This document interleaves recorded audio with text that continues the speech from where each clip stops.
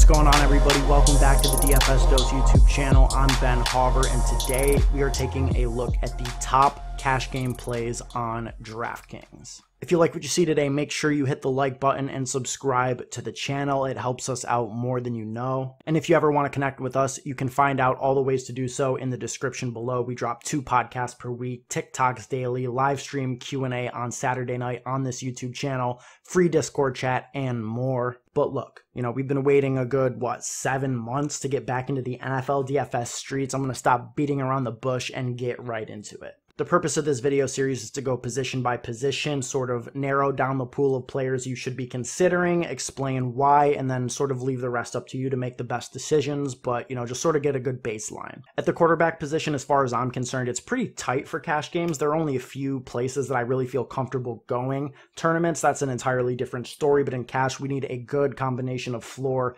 and ceiling, not just ceiling. And I think dollar for dollar, Josh Allen is probably the best play on the board. Despite the $7,400 price tag, you could very easily make a case that he is a value. He should potentially be priced over 8K.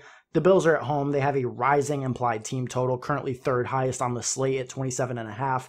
And just the sheer volume of pass attempts mixed with the deep passing nature of the Bills offense is going to generate just a prolific amount of yards for Josh Allen on a week to week basis. However, if we zoom out a little bit, just from a roster construction standpoint and like a salary allocation standpoint, I do think that it makes a little bit sense to drop a tier at quarterback, save the thousand dollars, and find yourself in that Ryan Tannehill, Jalen Hurts range. Tannehill is slightly more shaky to me than Jalen Hurts just because you never know if it's going to be one of those monster Derrick Henry games where he siphons off three touchdowns, runs for 200 yards, and Tannehill's just sitting there winning the game, not having to do much. I mean, I don't see that happening just because of the terrible nature of the Tennessee Titans defense and how I think Kyler Murray is going to put pressure on the Titans to, you know, win through the passing game. But just in terms of straight floor and ceiling combination, I do like Jalen Hurts a lot in this spot. In his four starts last season, he was averaging 11 and a half rush attempts per game for 68 yards in that span and managed to score three touchdowns across the four game stretch.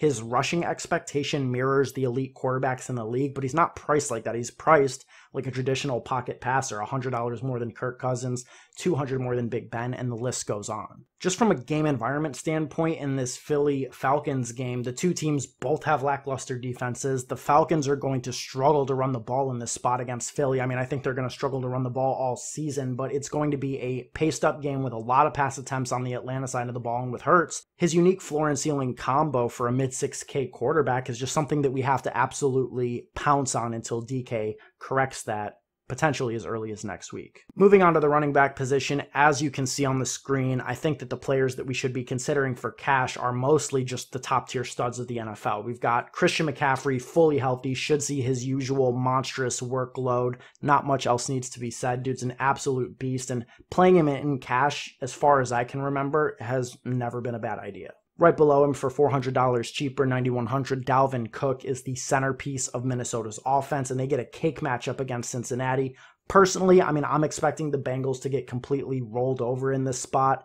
It's Joe Burrow's first game back from an injury. A highly suspect offensive line is going to be out there for the Bengals, and the improved defense for the Vikings just sets up really poorly for Cincinnati. I think the Vikings are going to have total control over this game, which sets really well up for a Dalvin Cook run centric game plan. And then finally, my favorite play of the week, by far any position on the site, is Alvin Kamara, who it just appears that the stars have absolutely aligned for. In the eight games that Alvin Kamara has played without Michael Thomas, and as we know, Michael Thomas is on the PUP list, so he will not be on the field until at least week seven, Kamara has averaged 8.62 targets per game, seven catches, and over 70 receptions, and somehow, some way, 30.89 fantasy points per game in games without Michael Thomas from a cash game lineup construction standpoint, I don't think that it's really an either or situation. I think the optimal build, and we'll get to it in a minute, is going to consist of a lot of cheap wide receivers that allow you to get at least two of these two top tier stud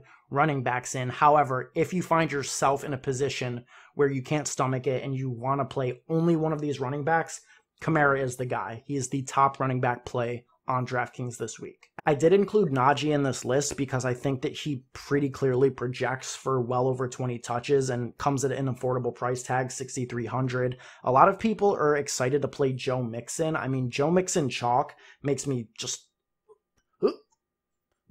like want to throw up in my mouth. I cannot do Joe Mixon chalk, especially. I mean, like I said, just the way I project that game to go is Minnesota rolling over them. Yeah, maybe Joe Mixon's role in the passing game is elevated from previous years with the departure of Gio Bernard, but just projecting this Bengals offense and where the targets are going to go, I think I think it's really shaky right now. We don't know what Ja'Marr Chase's, Tee Higgins, and Tyler Boyd shares are going to be. I can't project Joe Mixon. CJ Uzomah should be more involved than people expect.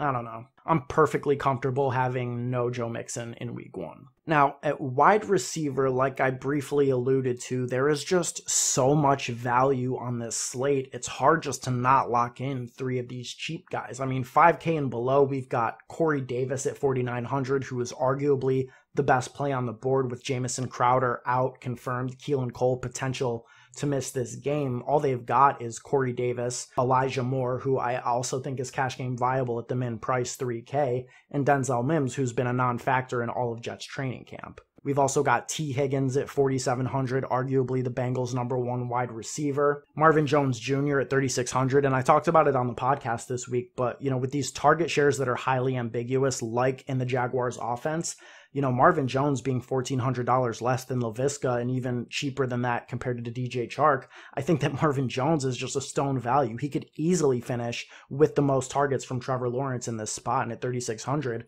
we're attacking that against the Houston Texans. Marquez Callaway, he is going to be the highest owned wide receiver on the slate, 3,400. Jameis Winston's number one wide receiver in a projected high scoring game against the Packers. And then there's just a plethora of 3K wide receivers. Like I said, Elijah Moore should primarily dominate slot snaps for the Jets in Jamison Crowder's absence. A lot of people want to play Rondale Moore. I mean, personally, I'm good on that. Curtis Samuel was placed on IR, short term IR, only three weeks, but in that absence, we expect Dyami Brown to step up. Terrace Marshall's min price. I mean, the options at cheap wide receivers are plentiful. The optimal build, pretty clearly, in my opinion, is playing a mid range quarterback, a mid range tight end, two expensive running backs, and then finding the value at wide receiver. However, at the top, I mean, clearly Calvin Ridley, Stefon Diggs are great plays. I included Keenan Allen on the list just because there are some really interesting cash game builds that leave you with 6,900 for one final player in the flex. And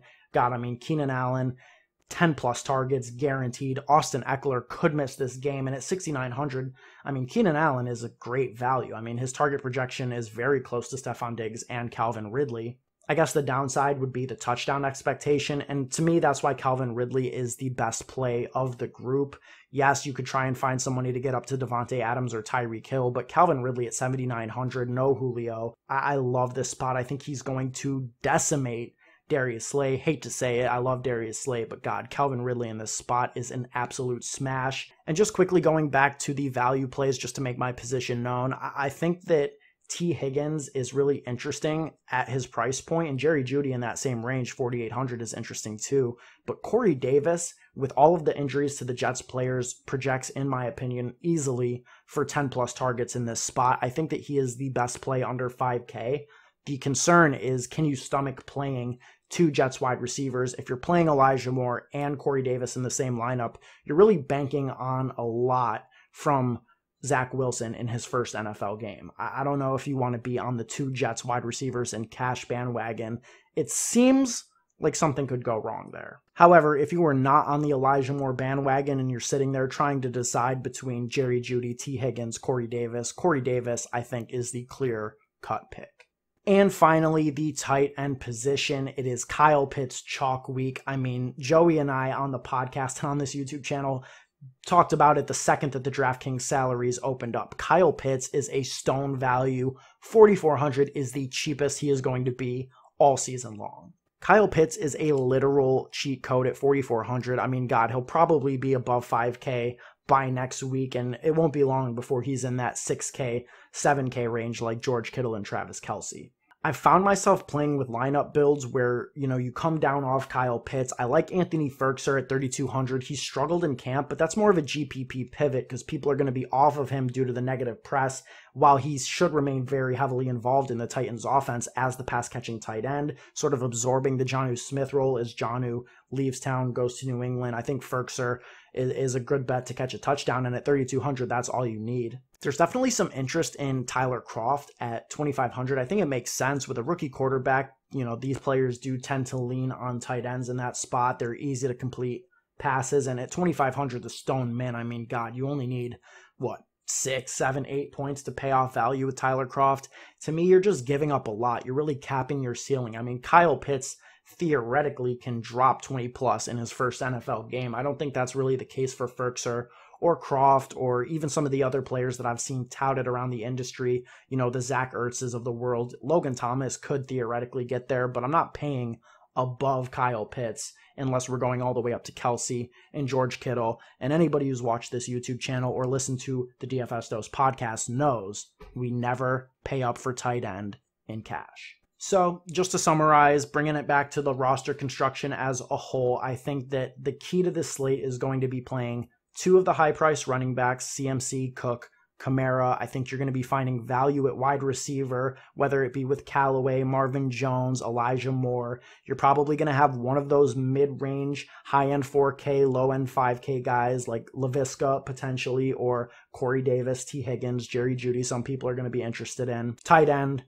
Kyle Pitts. And at quarterback, yeah, I mean, you can find the money to get up to Allen or maybe Murray if you prefer. Ryan Tannehill should be involved in a stone shootout. But to me, I am a believer in Jalen Hurts at 6,400. I'm putting my money where my mouth is, and I am playing this man in DraftKings cash. I don't know. That's that's just how it is. I'm playing Jalen Hurts, and if it hurts me, so be it. You know. I don't know. Maybe I'm too bullish on Jalen Hurts. Drop a comment below. You know, is Jalen Hurts just too bad of a real life quarterback to be worth the stone chalk in DraftKings week one? I don't know.